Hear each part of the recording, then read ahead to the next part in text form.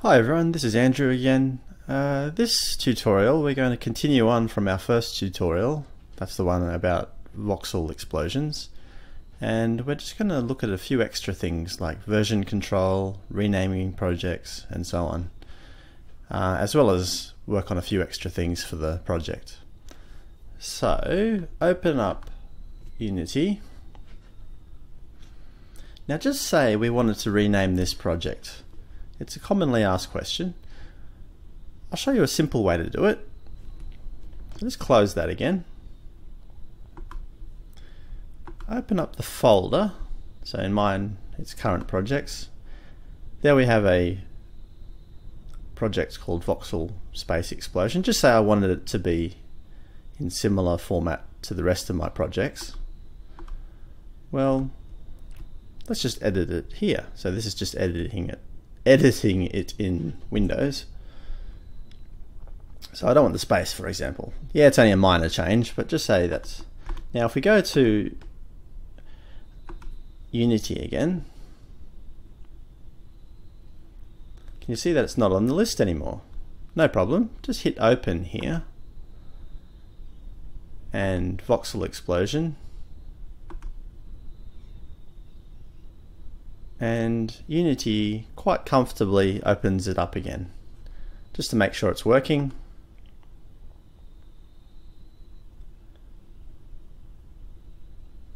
Yep, no worries. Close that again just to make sure that it's has linked up correctly. Open up Unity and there it is in our list. So it's a pretty simple matter of changing, renaming a project. Okay, the next thing I'd like to do is set up version control. Now version control is almost a must nowadays if you're doing any sort of development. It's a good way to keep track of the your last version and any changes you've made since. And you can undo any changes and so on. So the tool that I use is called Mercurial and the software is Tortoise HG. So I'll put this link in the in the uh, description. So you could probably download this, and it comes with Tortoise HG. Now to make, I'll just close Unity. To make um, to make HG link with our, I'll delete that um, removed from registry. To make HG Tortoise HG uh, link with our project, all we have to do is open up Tortoise HG, go File, New Repository, Browse, and go to your project folder, which in this case is Voxel Explosion. Select folder, and then hit Create.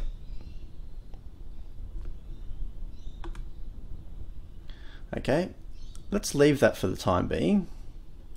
So we'll just minimize that. Um, in our voxel explosion folder, you'll see that two things have been created. A .hg folder that stores all our changes. You can pretty safely ignore that. And then, the, and then there's this file called .hg ignore. Now this is kind of important. At the moment there's nothing in there. HGignore basically tells Mercurial that we want to ignore this list of files or patterns of files. So I've got a pre-made one that's you can safely use with Unity. This is the one I use. It, it basically just tells uh, tells Mercurial don't store these in our change logs. So ds store, sln, anything that ends in sln, user prefs, cs proj, blah blah blah blah. Uh, don't store build files or don't commit build files, library files, temp files. It's unnecessary to to maintain in our project. So I'm just going to copy that. Um, so there they all are. If you want to pause that and type them in yourself. Or maybe I can just provide the hgignore file. That'll probably be easier. So save that there. Just double check that. Yep, I edited that. So next time we go to Tortoise HG, just hit reset, uh, what's this, refresh. Click on there. Now these are all the files that it's identified in the project. So for the first, for the very first commit, just select everything because we don't know what what's what here, and type in a type in a message. So this is what you'll see basically up here.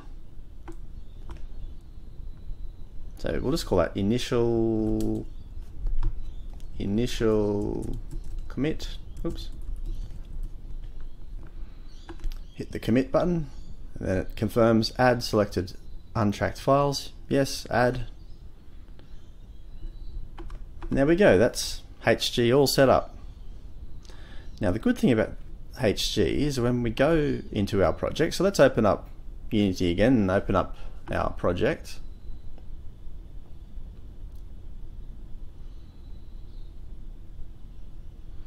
Now just say I edit a script, um, camera control. Open up camera control and I want to try a couple of things so I I decide oh I want to add something here I'll add 4.5 what does that do?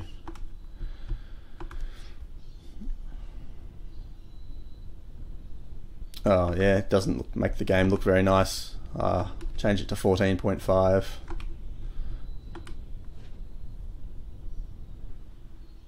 Oh yeah, that looks rubbish. Oh crap.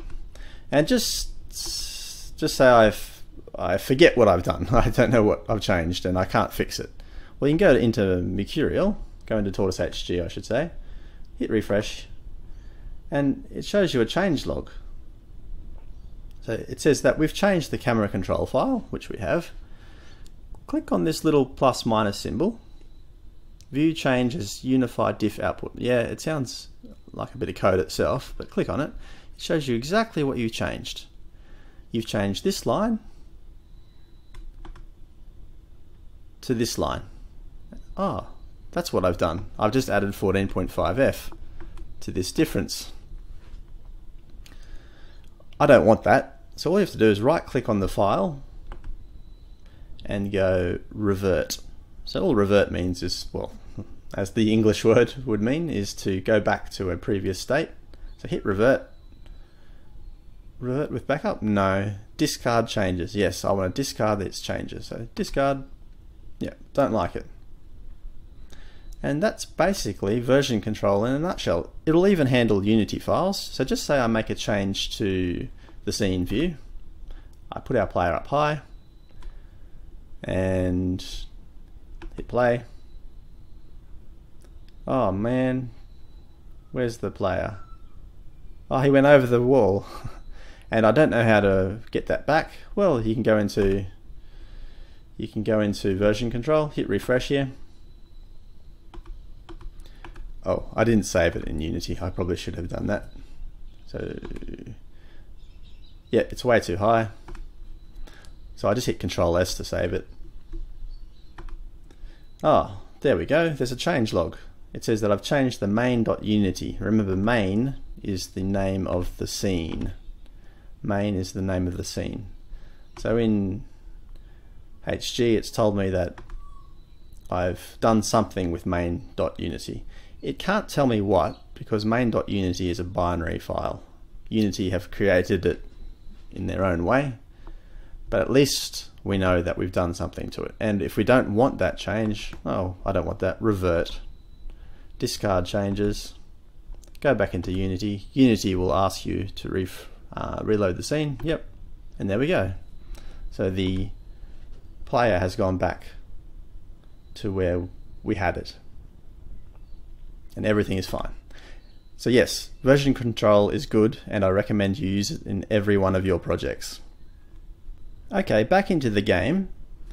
Uh, when we play this, we have to wait a little while, don't we, before we get to our first wall. So how about we move the wall closer. So double click on an object to focus on it. Remember when we're focused on, on an object, when we rotate, we'll be rotating around that object. So if I focus on the player, when I rotate, I'll be rotating around the player, with respect to the player. So let's move our wall closer. So for testing purposes, for testing purposes, I should say, probably better to have the wall closer. So we don't have to keep waiting as long, huh? Great. Now, you'll notice when we click on player, can you see that all the position of the player is slowly changing? We don't really want that, do we? The reason is because Unity's uh, gravity engine, graphics engine, is um, sorry, I should say it's physics physics engine is detecting that the player hit something and therefore it will slowly bounce away or roll away or whatever. So it's slowly moving away and that's not what we want. So we can get around that by using these constraints in the rigid body. So this is on the player object, there's the rigid body. We do not want the object to be able to rotate because once it hits an object it explodes. So we don't care about this. So turn off well it's actually turning on freeze rotation. So we do not want it to rotate in X, Y and Z position. Also we do not want it to move in the X direction. So the X direction would be this direction. Hang on Yep, that's the x direction. We don't want it to move in the x direction. And at the moment, we don't really want it to move in the y direction either. So we'll constrain it so that it can't move in the x or y direction. The Unity engine will not try to attempt will not attempt to move it in the x or y direction. We just want it to move in the z direction, at least for the time being. So turn on all those constraints. Let's see what happens. Bang. So everything's paused. The player is paused in effect. And he's not moving. Good. Um, a better way to handle so when we play this, you notice that there's an object player explodes and that object player disappears. Now this player player control script, see that it says here object player missing game object. It's because we've destroyed it in script. So that's probably not the best way to handle that, especially if we want to restart the game. So let's go into that player control script. Now instead of, so in your explode method, instead of destroying the object player, let's just deactivate the object player. So in effect, it's the same as doing this. See this little checkbox here? If you tick that, that's considered deactivated now. So that's all that's all we'll be doing in code, just hitting that button in effect. Which graphically speaking is achieving the same result. There's no need to, to uh, destroy that object. So our gameplay won't be affected in any way. Object, oops, object, I object player. Now the method is just set active. So set active, oh, we'll see what that does. Set active summary activates, deactivates the game object. Exactly what we want. It takes a bool, so we want to deactivate. So on upon explosion, the object player will be deactivated. Set active equals false. Set active false. Let's try that.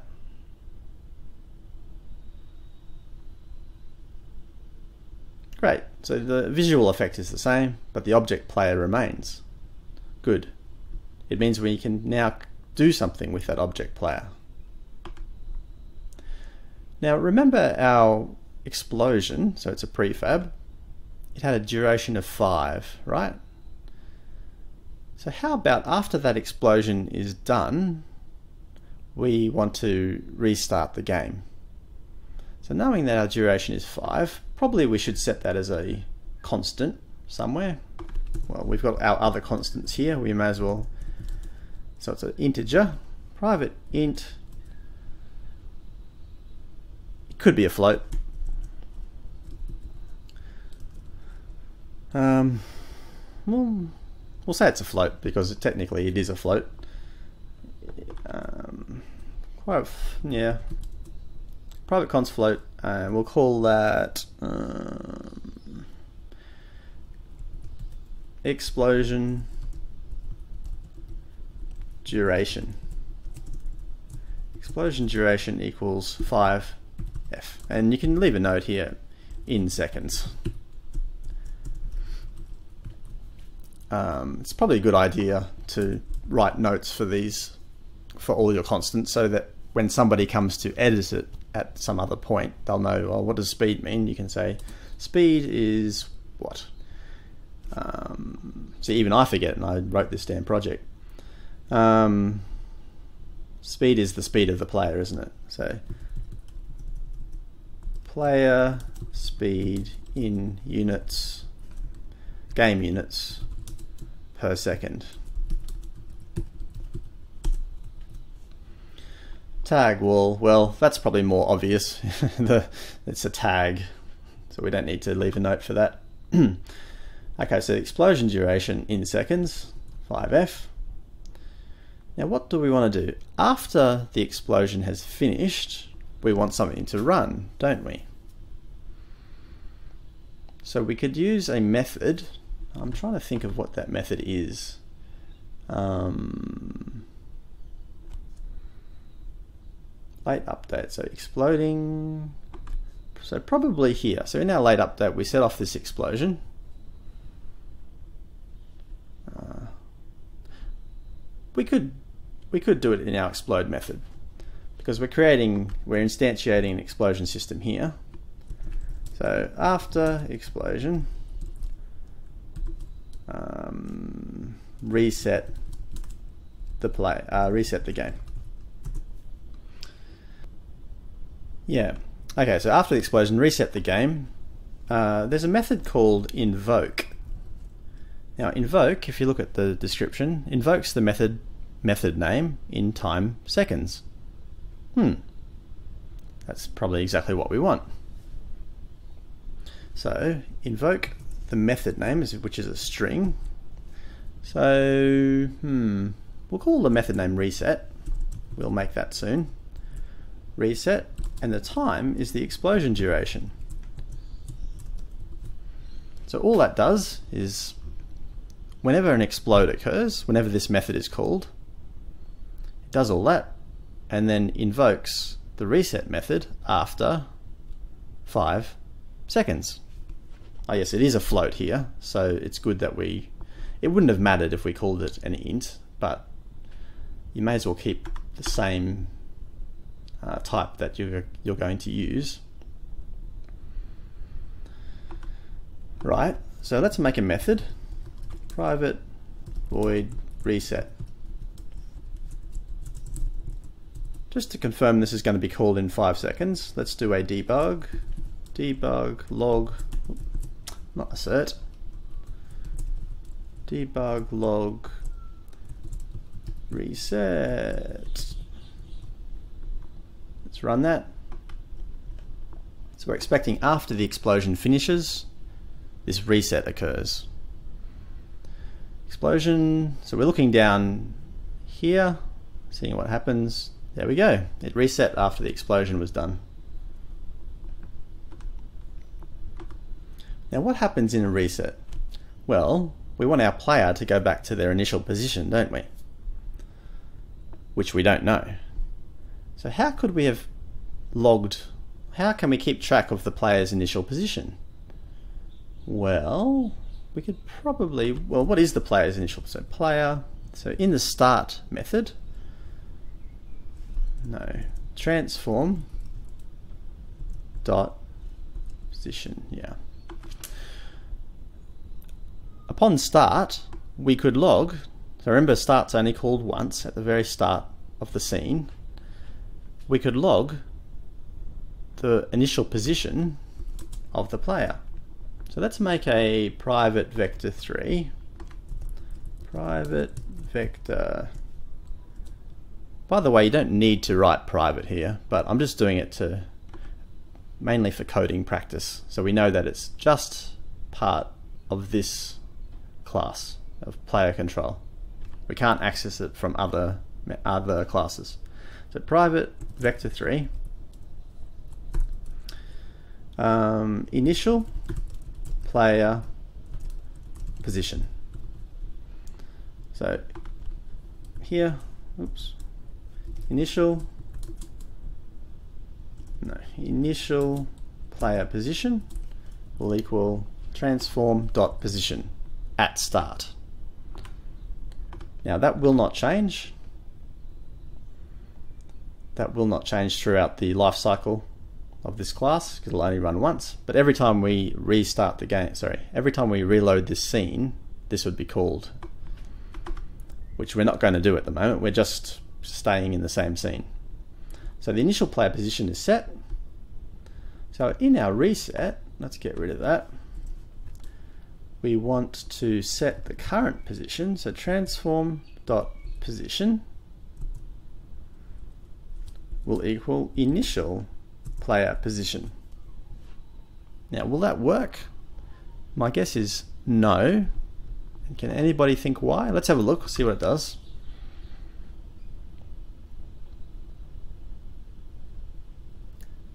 Boom. Reset. You can see the camera has moved, hasn't it? It's moved back to our initial position, but the player, the object player, is still deactivated is still deactivated. So we need to reactivate the player. Easy matter of just doing the opposite of this. So in, in, in when we explode,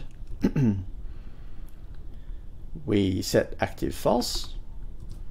When we reset, we set active true.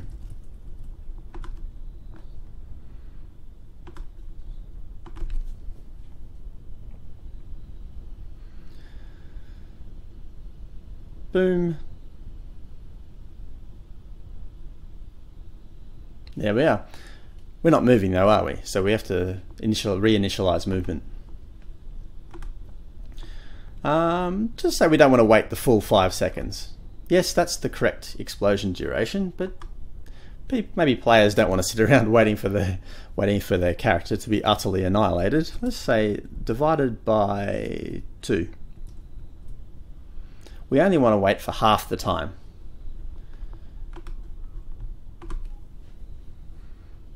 So, boom. Oh man.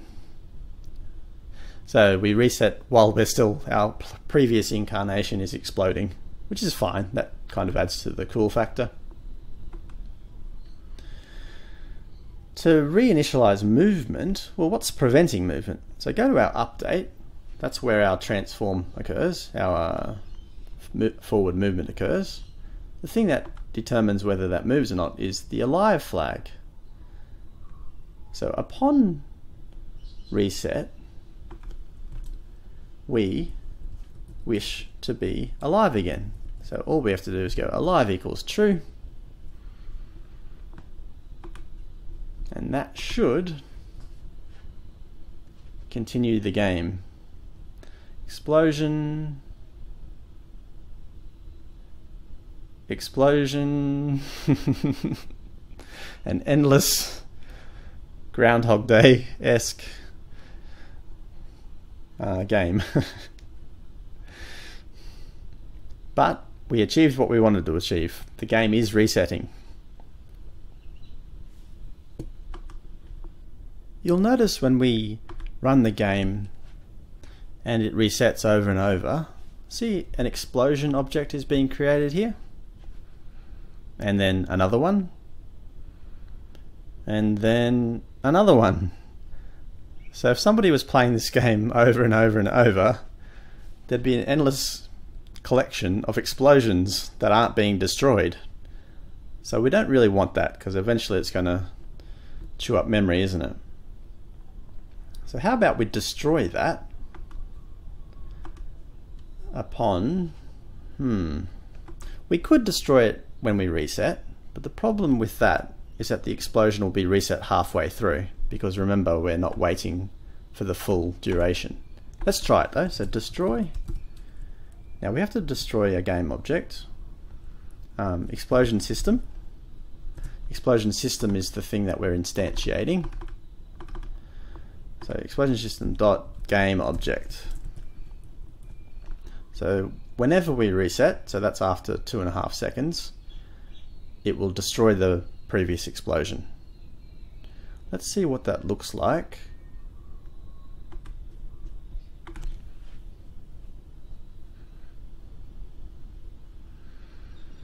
Bang. Reset. Yeah. Maybe you're happy with that, but all the particles have suddenly disappeared. At least the object is not hanging about. Probably a better way is to put this in its own method. So what shall we call that method? Reset explosion or something? Private void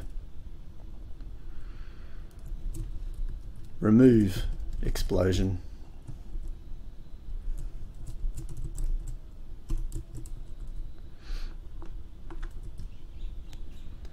Okay, so remove explosion, all it does is destroy explosion system game object.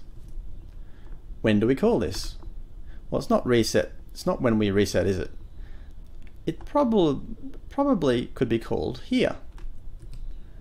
So we could just do a second invoke, which just calls remove explosion, and it doesn't remove it until the full duration of the explosion. So until after, uh, sorry, after the explosion finishes.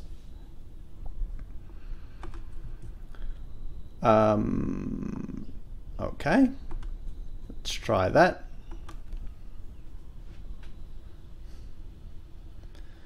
Bang, there's the first explosion. It's still there. Ah. can you see the issue? I can. It's because the time it takes the player to travel to the wall is less than two and a half seconds. So that's just a game development issue. We can fix that up by probably having the wall a little bit further away. Or you could increase the duration that the player has to wait before resetting the game. Either way. So I've just moved the wall ahead So there's the explosion. Yeah, we can still see the previous explosion. It disappears. There's the new one. It disappears and there's another one. So yeah, that, that handles it quite well. And it allows the player to see, to witness their previous explosion just for just for a laugh. Good. Um, the next thing I'd like to do is add some sound. To create your own sound, like using a microphone and so on, I use a program called Audacity. So Audacity is a free open source cross-platform audio software for multi-track recording and ed editing. Great. Download that. I'll, I'll add the link to the description. I'll just open that up. It's a pretty simple tool, but it, it allows you to do lots and lots of, it's got lots and lots of features. You can generate sounds, just say, you can generate a chirp. it's using my uh, computer speakers. I'll change that to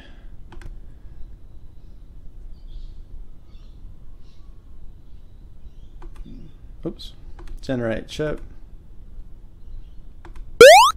I don't know if that'll be recorded on this video though. Hmm. I'll keep it coming through. I'll keep it going through my uh, computer speakers.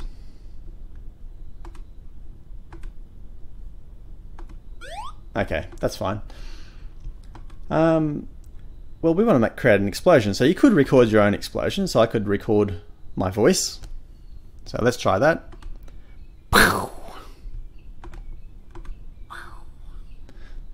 Or you could use something a bit more professional, like using a generator. So there's a fire and explosion sounds here. You may have to add that or download it. I'm not sure. But I'll click on that. Fire and explosion sound. That sounds okay, so I'll use that. There's our explosion. Now to export it, we, uh, to export it so that Unity can use it, we can just go export audio. Um, quick access, current projects, voxel explosion, assets. So all of our game files go into assets, like our sprites and sounds and so on. Create a new folder called audio, not a, audio. And this can just be called explosion. An Ogg, an Ogg Vorbis file is fine. You can adjust the quality here if you don't if you want to save some space, especially for larger files, but we'll keep it at the default 5. So explosion, save, okay, great, that's all we have to do. Um, when you're exporting, you can reduce the, if you find the volume's too high in game, you can reduce it when you're exporting. So just reduce the gain. So if I play that, or if I want it louder, Righto. We'll close uh, close Audacity. No, I don't want to save it. Okay, if you go back to Unity, you'll notice that we have a new folder, audio, with our explosion sound effect in it. We can double click on that to hear it. I can hear it anyway, hopefully you can too. Um, now back in our player control class, when do we want to hear that sound? Well, we want to hear it when we explode, don't we? So explode occurs, and then we want to hear a sound. So we could just simply make a create a method called play sound or play explosion sound. Let's create that private void play explosion sound.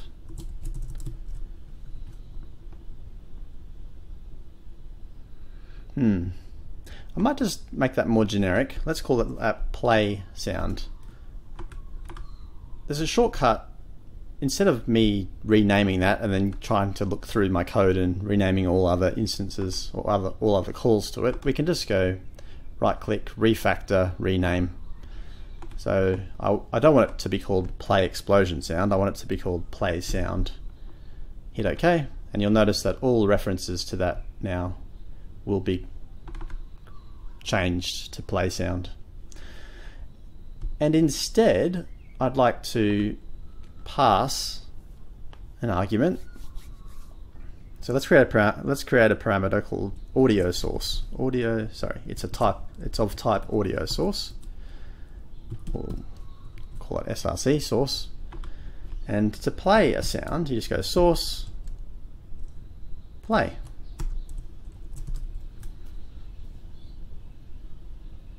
Great. So that's all play sound does. You just pass in a source, an audio source, and we play it. What does play one shot do? Play one shot plays an audio clip and scales the audio source volume by volume scale. Okay, and what does play do? Play, well, it doesn't say. Play delayed. So there's a whole bunch of options you can do here. Play one shot, play scheduled. Let's just try play. I don't want to do anything fancy. Now this needs a source, doesn't it? So we should probably create a source, an explosion source. explosion source. Sounds a bit funny, doesn't it? So up here, let's make a private audio source. Explosion source. I'll call it, I'll put source at the front, so source explosion. So it's a bit easier to remember. If you use this sort of format, then you can know that all my audio sources will start with SRC and then I just give them a description. And you could apply that for many things like for particle system I could have wrote PS at the start or something. Anyway, we'll stick with this conventions. SRC explosion. When we start the game, we need to set up this source, this audio source. So in, in the start function, set up audio. So src explosion will equal um, do we have a create component? Mm, component get component add component maybe add component. That's not what I want to do. Game object. Here we go. So on our game object, so remember our game object refers to this. On our game object, we want to add a component. Now add component, let me just add component. If you look at the way it's set up here, we have to put the type in those angular brackets. So add component of type audio source. Right, so all that will do is, in effect, that will hit this button, it will do what this button does. It will add a component of type audio source. So you could, in theory, add it manually here if you wanted to. But let's do it in code. It's good practice. So when player when player control starts, we're going to add a new component of type audio source. Let's set up some parameters. Source explosion clip. Clip is important. That's the actual audio it'll be playing. Equals well, we don't have a clip here. We'll, we'll call it clip explosion. We'll set that up soon. Source explosion dot something else. Looping. Yeah, loop. What does loop take?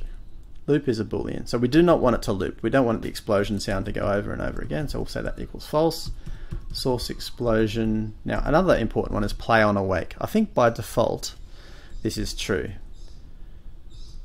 Or is it false? Either way, do we want it to play on awake? So when it gets instantiated, No, we do not. We do not want this to play on awake. Otherwise, when the game starts, we'll hear an explosion. So we'll put that, set that to false. Now this clip, well, we can just set up a public, a public uh, variable here, can't we? Clip is of type what? Clip is a audio clip. So public audio clip clip explosion. So this allows us, well it prompts, it prompts us in Unity to add a clip. Great. Go back to Unity. If we go to our player object,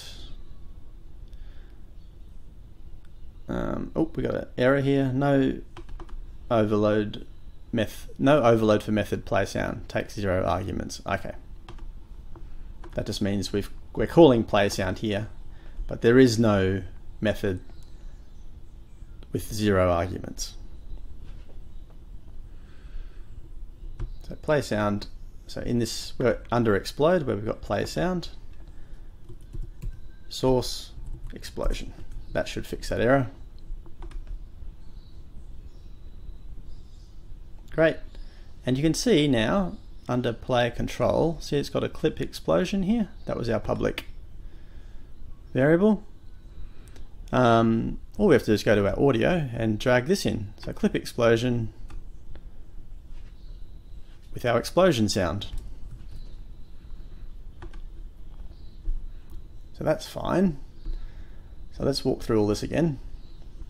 We've declared a audio clip, a public audio clip, clip explosion. Now, if you want to see where that's used in your code, just go right click find references and I'll tell you all the places it's used. So it's that's the first location and here's the second instance. So in our start method, we're setting up the audio, set up audio, source explosion equals game object add component, audio source. This effectively the same thing as hitting this button here, add component. We're setting its clip, which is the clip that we've passed. We're making sure it doesn't loop and we're making sure it doesn't play on awake. When in our explode method, we call a we call this play sound source explosion. Go to declaration, and all play sound does is source dot play. in theory, we could have just gone. We could not. We could potentially not use this method and just go source explosion dot play right here if we wanted to. Either way, whatever suits your tastes. Let's give that a go.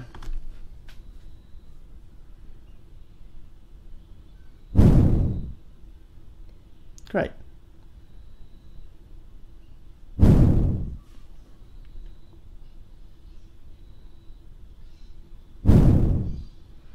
Okay, that seems to be working.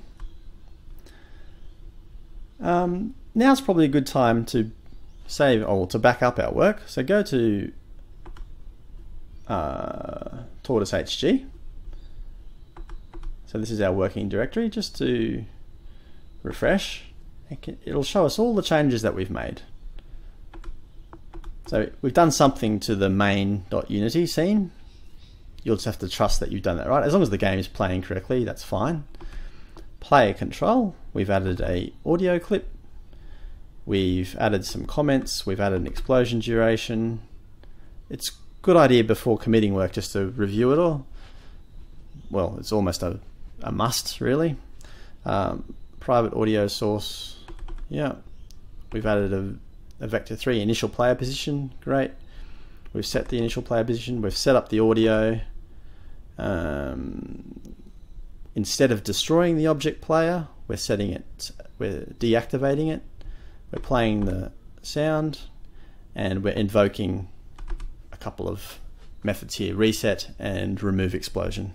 So here's our reset method, here's our remove explosion method, and here's our play sound method. That all looks good. Um, there's a meta file that's been created, that's fine. There's our explosion file, and that all looks good. So I'm happy to commit that. Um, so in your comments, you can just write uh, reset game add explosion sound however you wish to format that doesn't matter as long as you know what you've as long as you give a an accurate description of what you've done in that change set. So let's commit that. Add selected untracked files yes. So when I'm when somebody's coming back to look over what's been done oh here. Here here's what happened at version 1 or revision one, I should say. Um, somebody's added this reset game function and they've added the explosion sound. Hmm, cool. If for some reason you've made a mistake and you didn't want to commit that, you can just click on here and go um, repository, rollback undo. So let's do that. Rollback undo, undo most recent commit, number one. Yes. So you'll see it's still there. All the changes are still there, but it hasn't been committed. For example, I oh I didn't want to I didn't want to use this play sound method. After all, let's get rid of that. and instead we just want to go source explosion dot play. Oops. That should achieve the same thing, just to double check. Great. Back to here, just remember to keep refreshing so it, it takes in all the latest changes. So in player control, if we scroll down, we'll notice that there is no play sound method anymore. Instead, we're just playing it directly from the source here. I like that. Uh, oh, you see that our um, previous message has disappeared? You can get that back just by going to this copy message. Here, we, here it is, reset game, add explosion sound. Woohoo, commit. And that's done. I think that's all we'll do today.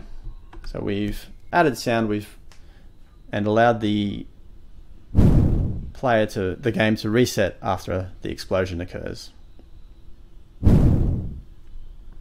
Cool, and we fixed up a couple of bugs. Thank you.